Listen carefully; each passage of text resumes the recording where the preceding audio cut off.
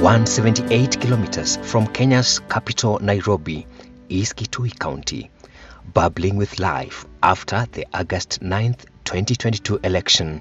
The re-election of Dr. Julius Malombe has brought to life the Kitui promise.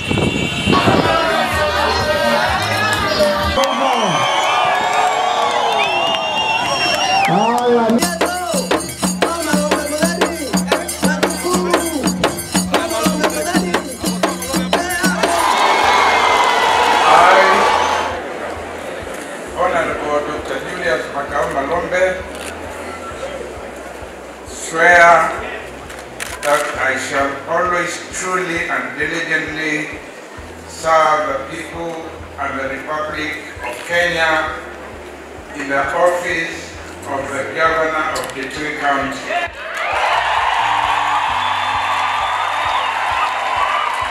Without fear, favor, affection, or ill will.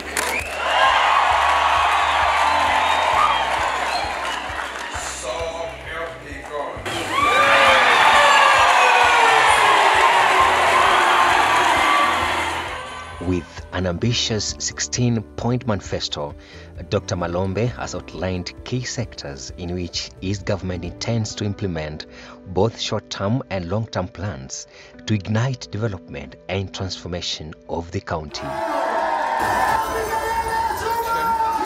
I met thousands of people across Kitui who indicated that one of their main reasons they would elect me was as a result of my track record during my tenure as the country's pioneer governor. Unfortunately, all the great things we achieved collectively were put on hold following the outcome of the 2017 general election.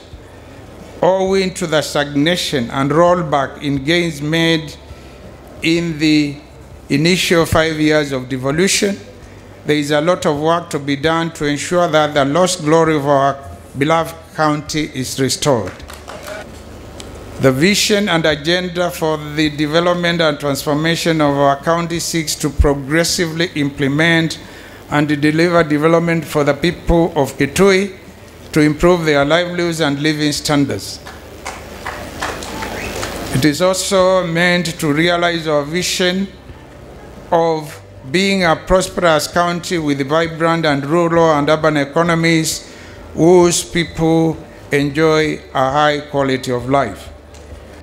Notably, Governor Malombe's trusted leadership has won the confidence of numerous national, regional, and international development partners who are continuously streaming to Kitui to declare their readiness to work closely with his administration towards realization of his transformative agenda for the residents. going forward. So thank you um, for what I know has already been uh, a lot of time and effort uh, that your team has put into working with uh, our teams on our projects so that we can develop a new work plan in support of your, your county integrated development plan. And I want to commit to you that this is not a one-time uh, so, uh, effort. We look forward, you know, in the coming years.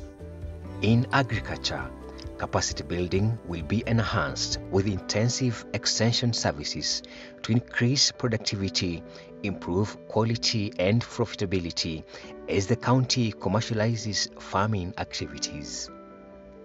There will be intensive extension of agricultural services, the construction of 60 sand dams in every ward, that is a total of 2,400 for the entire county, water pumps, machinery, and support to farmers, two well maintained and managed farm tractors for each ward, regular training of farmers on modern farming and agribusiness, and the establishment of viable livestock trade, trading centers in each ward.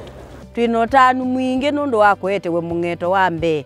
Ni malombe. Ula watwathie ine wa kambeini ni watu akatwa akatu a ya mingeto. Tukethia na kä thangathi kutaba kiwu ni kä levo na kiwu u kingä ona ala mena miunda yoma imite kuu, makakwata kiwu na tukaende ya nesa Chambe ni ngu ngåua na mwongo ni å muradi wa kwe kwa wa må ng'eto uu kwe å kå kwa kä Kiwu ni bu nä thia ibinda ina bu ä tina ivinda inena vu itina nĩ kĩvũ nĩ kĩnokaa kĩ tũnenge thĩna kĩthi mpaka na futi itano but o inĩ tĩkwĩua mweo tondũ ila mung'eto kwakwa kiboneke kuoka igulu atireteka Water is life, with uses spanning from industrial to domestic to irrigation.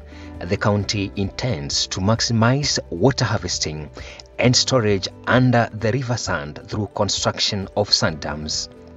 This will not only create a microclimate for the county but also raise the water table.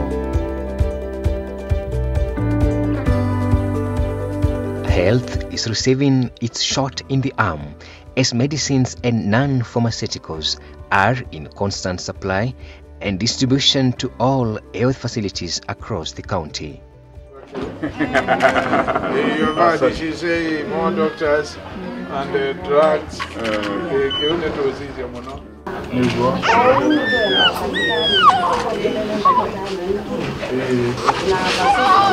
Moreover, Dr. Malombe is keen to fast track uplifting of both Kitui and Mwingi Level 4 hospitals to teaching and referral status besides upgrading to Level 4 or sub-county health facilities. I campaigned for a transformative, progressive agenda where I committed to elevate Mwingi Level 4 Hospital to a teaching and referral hospital, which means bringing it to the level of 5 uh, category and slightly more. And to attain this status, an intensive care unit or what we call ICU in short, will be constructed and the renal unit operationalized.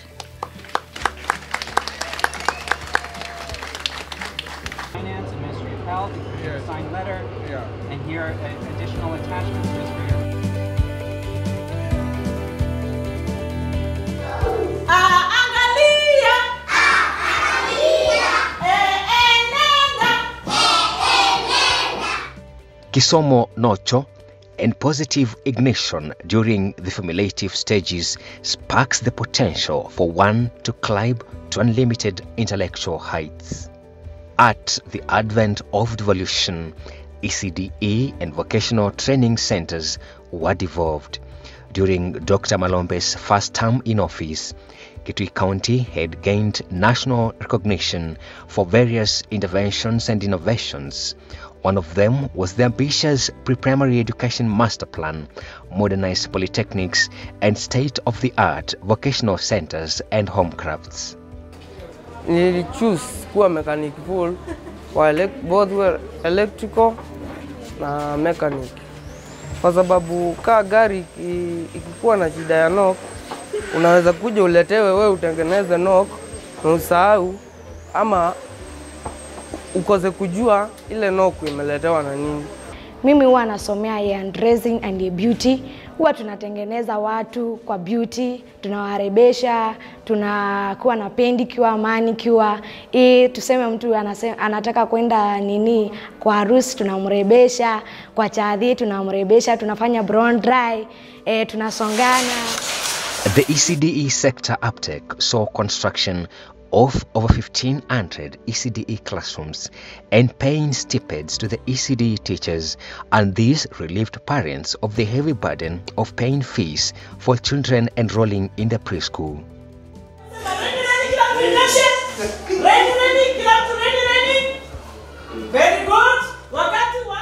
Mwingi Town has been upgraded into a municipality, making two the number of such big urban centers in the county. This has spurred economic growth with improved facilities, making it, making it conducive for investors.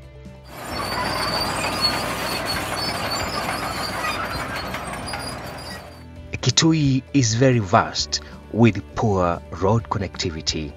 Dr. Malombe is on race against time to open up the new roads, grade and murram existing ones with slabbing across seasonal rivers to make the county road network all weather.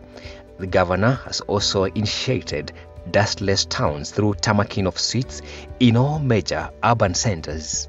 With implementation of key sector infrastructure programs, trade and investment will have a launching pad, making the Kitui County's six economic and investment zones more attractive to investors. Supporting growth of micro, small, and medium enterprises is also integral in Governor Malombe's plan to make Kitui County a 24 hour economic hub with residents enjoying high quality rural and urban life. Kitui hosts a myriad of tourist attractions. The Savo East National Park to the south, South Kitui Game Reserve, Zabani Rock, Eco Valley, Mumoni Hills, Kora National Park, among many others. Our society is inclusive, with Governor Malombe championing gender mainstreaming, where Bega kwa Bega initiative intends to empower women socially, economically, and politically. I'm proud of the fact that Kitui County has remained on the forefront in the initiation and implementation of programs which strive to empower women socially, economically, and even politically. With the world facing triple planetary crisis of disease, poverty, and climate change, and biodiversity loss, the county under the Ministry of Environment is spearheading environmental conservation programs. This spans from regulating minerals and natural resource exploitation, with sustainability being the goal, intending to shift from fossil powered economy to green energy alternatives employing over 20,000 youth in Kitui County. The Boda Boda sector is one of the fastest growing sectors whose framework, regulation, and standards needs to be established in order to harness its huge employment potential. In order to promote the era of e-government services, Kitui County will collaborate with the telecommunication service providers to increase mobile telephone connectivity from the current 83% to over 95%. This will not only open opportunities but also connect the county to the rest of the world, with the youth expected to exploit various digital business opportunities. Security is key for human existence. The county government will install street lighting in the county's towns, market centers, and other public facilities. More so, the county is working in collaboration with the national government to set up eight police stations spread along the volatile Kitui Tana River border. This will enhance security patrol, deterring the infamous conflicts between the locals and camel herders. Kaunti yetu is prone to insecurity, hasa katika ile boda Kitui County ina share na Tana River. Tutaweka cut line kutoka hapo tukisaidiana na national government because mambo ya security ya under national government na lazima tufanye kazi na national government. In addition to the cut line, tutajenga police stations.